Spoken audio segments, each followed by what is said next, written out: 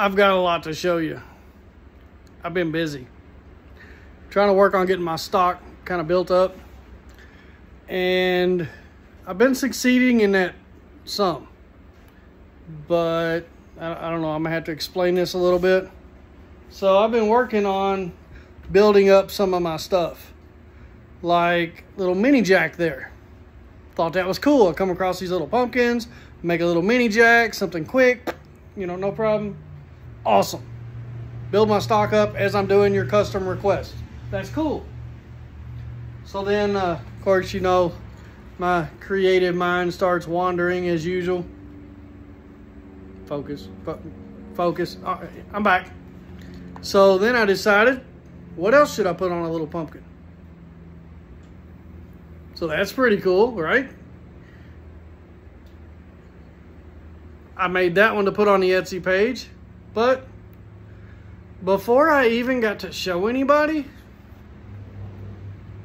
it, it sold. Good problem to have, right? But I'm trying to build up my stock, so I decided to make another one. It's like, well, that worked out pretty good. Let me make another one so I can build my stock up and get some more items up there for everybody, especially, you know, Christmas I'll be here before you know it. Regardless of whether you want to think about it or not, I need to think ahead and make sure I've got plenty of stuff on there. So I made another one. This time with somebody a little different. And and then he wasn't on there very long at all. Just just a couple hours. And and it sold. Again, I'm, I'm not complaining. It's a good problem to have. So I'm like, all right, okay, okay, I get it. Uh, so I'll, I stopped doing that and tried something else. So I decided to work on these skulls. So these metal skulls, I paint them black and then I put designs on them. So I put this cool design on it. I've done these before and they seem to sell pretty quick. As of right now, this one is available on the Etsy page. Link is in the description of this video. Or you can find this by going to etsy.com. Look for Crazy Thing Art.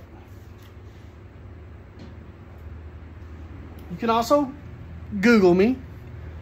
As of the time of me making this video, if you go was to Google Crazy Thing Art and find my Etsy link there in all the little links, you'll see all this stuff, every bit of it, on my Etsy page. Except for this one coming up because I haven't put it there yet. It's not even really dry all the way and I probably shouldn't even be touching.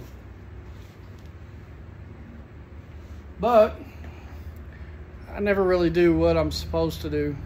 I don't like rules. So I'm to show you anyway. It's still drying. Still a little wet, so I got to be careful. This one's to get posted on my Etsy page, and it's going to be brand new. And I don't know who the first person that sees it will be, but you know, maybe uh, maybe if it's you, you can get it real quick before somebody else does. If you're fast enough. If not, that's okay. I know the guy that makes these. Uh, I, I can't do the same exact one twice. Even if I tried. None of them are going to be identical. But there are listings for custom airbrushed metal skulls available. So I can make you one of these if it's not available. But I would like you to go check and see when you get to watch this video, if it's actually there or not, that'd be cool. So as you can see, lots of stuff going in and out. I actually airbrushed a leather jacket yesterday, which I do not get to show you. Sorry. Uh, I prepped it that morning. Then I airbrushed it after lunch. Then I sealed it, told the customer and since they were local, hmm, they came and got it. They, they needed it for a birthday party, so they come and snatched it up. I've got pictures on my Facebook. If you would like to uh, see it, you can go check out those pictures. I did not get a YouTube video of it because I normally do that the next day or after, you know, everything's clean and dried and So my apologies, but it was a skate uh, skating theme for a I think 13 year old girl. Her leather jacket. She's a really awesome person. Her parents are amazing, and uh, they support me in my work. So I think that's a, at least the third jacket I've done for her. But so can't show you that one. Failure on my own part. Time management. it's all part of it. But guys, that's what I got.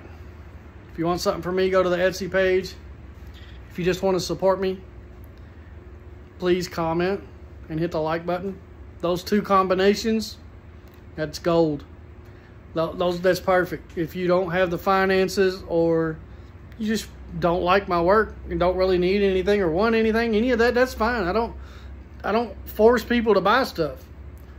But you know, if you like and comment on my stuff, whether it's here or my TikTok or my Facebook or my Instagram, any of that, that it pushes my stuff out there for somebody else that might want it. They can see it. You see how that works? So thank you from the bottom of my heart because I wouldn't be here without you. I'm going to go ahead and jump off here. And I'll see you guys in the next one.